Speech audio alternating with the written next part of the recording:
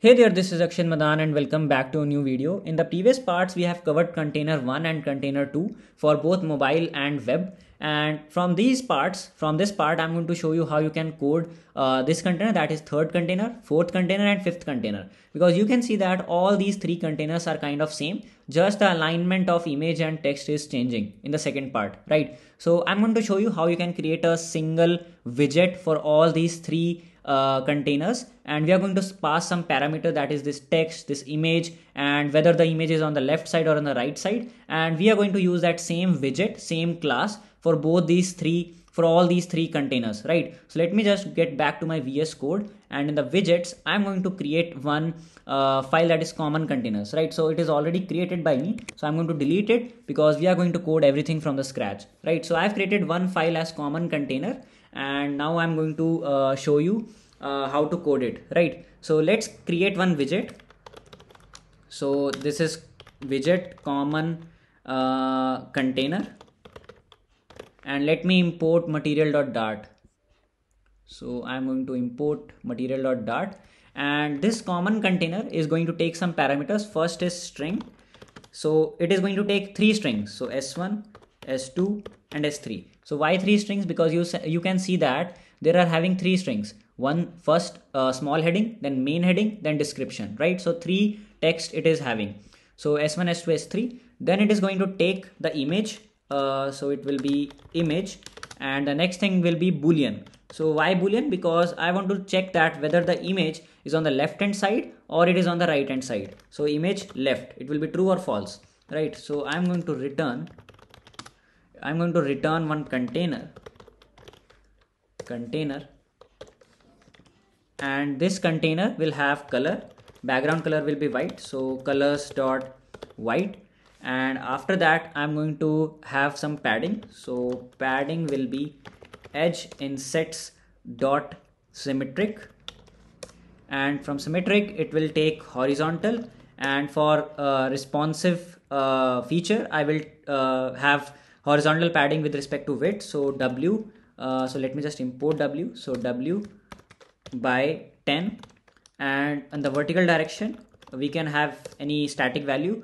Uh, so it will be 30 because height of the uh, height of the uh, window is not going to change. So vertical will be 30 and then after that uh, I'll have a child to this container which will be a row because you can see that everything is inside a row right? This is complete row right?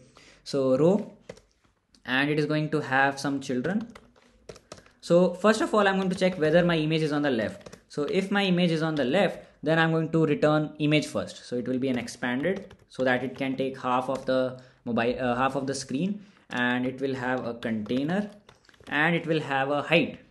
So it will have a height of 530. So I'm taking the same height as you can see in the design. So height is 530. Then it will be a decoration. Then it will be a box decoration, uh, box decoration and it will have the image or you can say that decoration image. Decoration image. And inside this image i'm going to pass the image right? So it will take the image which we have taken from the parameter and then i'm going to uh, pass on fit. So it should be inside here and image should be uh, inside asset image not just a static string right? So it will be asset image. Yes. And fit will be box fit dot contain so that the complete vector should be visible. So box fit dot contain so yeah everything is good. And if my image left is not true so i'm going to pass so after this container i'm going to pass a simple empty container. Perfect perfect. Right. So yeah everything looks good. Let me just save it. And let me just yeah uh, this is all good. So after this uh, i'm going to have another expanded. So after this container i'm going to have one expanded which will be for the text part. So expanded. And the child will be a column because you know that all these three texts are in the vertical direction along the vertical axis. So it will be column and the cross axis alignment should be start because they all were left aligned. And yes uh, here also one condition will come because you can see that if my image is on the right then all these three texts are on the uh, left aligned. And if my okay here also left aligned but this was not looking good as i remember. So i'm going to make it right aligned if my image is on the left hand side. So that's why i'm going to make it if image is on the left image is on the left then cross axis alignment will be cross axis alignment will be at the end. Otherwise it will be cross axis alignment at start. Perfect. So this is done. And then i'm going to have some children. Text. S1 dot to uppercase. Uh, because you can see it is uppercase so dot to uppercase. Then I'll have some styling.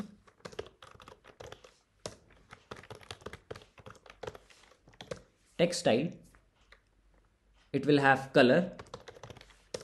Colors dot gray dot shade 400 and it will have font size.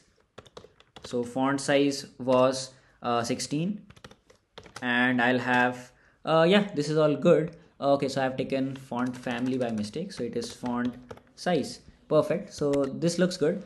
So this was my first text. And after that I'll have some sized box for the spacing. So sized box will have a height of 10 and then I'm going to have another text. Another text. So let me just copy this text. And with the sized box. And it will be so it will be s2 and after that after s2 i'm going to yeah again text align. So uh, i'm going to give it text align. So text align will be uh, text align dot uh, left for image uh, left. It should be uh, text align dot right. So it should be text align. Uh, okay so this should be question mark. Text align dot right. Otherwise text align dot left. Yes this is good. And for the text style it should be with respect to width. So font size will not be a static value. It will be w upon 20 uh, and it should be bold also. So font weight dot bold. Font weight will be font weight dot bold.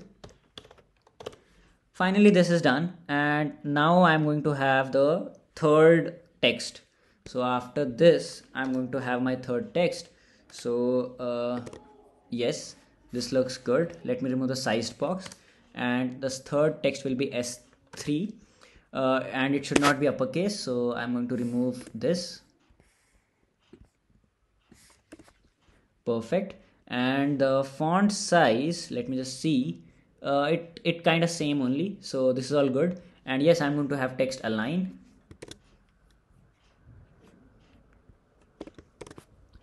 perfect.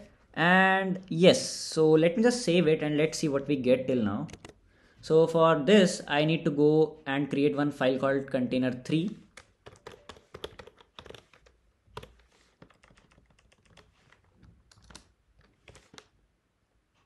dot dart and let me just copy everything from container 1 put inside container 3 yes so this is good. And for the mobile we have not created yet. So for this part i'm going to remove everything. So yes i'm ready with the, the container 3.dart and you can see that i have returned a common container. And it is having the first text second text the third text image illustration 1 so if you want to see what is illustration 1 let me just go. And you can see that I already imported all the image files over here and yes and image left is false because you know that for this part image is on the right not at the left. Right? So let me just make container 4 and container 5 for the desktop container and let me just get back to you. So now you can see that I'm ready with container 3 container 4 and container 5 so let me just call all these containers in home.dart and so after this I'm going to write container 3 then container 4 and container 5 let's just save it and let's see what we get. Okay so we are not getting anything. Uh, let me just refresh everything.